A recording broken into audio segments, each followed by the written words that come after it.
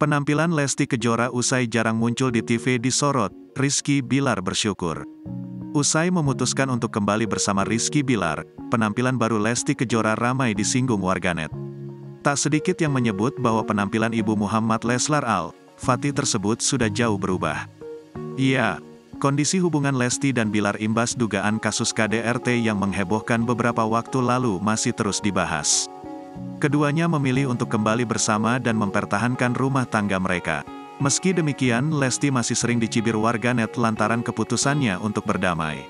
Sejak kasus tersebut Lesti dan Bilar hampir tak pernah lagi terlihat muncul di televisi.